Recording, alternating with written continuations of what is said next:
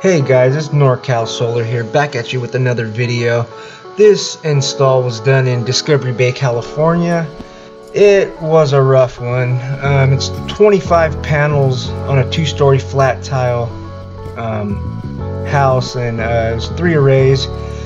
And the feet that we used were like old school fast jacks, like almost like the old school um, quick mounts.